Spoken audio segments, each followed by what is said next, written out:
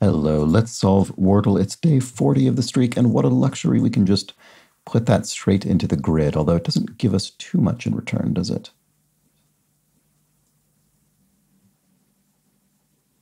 Could do one of the WordleBot's favorite words, least, maybe not the most, I can't remember, but okay, that was actually pretty good.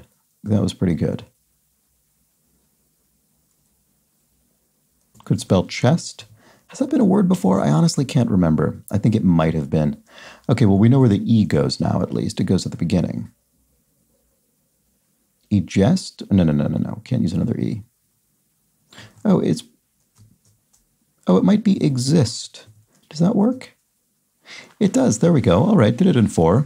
Happy enough with that. Don't think I would have guessed. I wouldn't have jumped straight to that, so I don't. I don't feel as though this would have likely been a three solve for me. So there we go. All right, back tomorrow. Bye for now.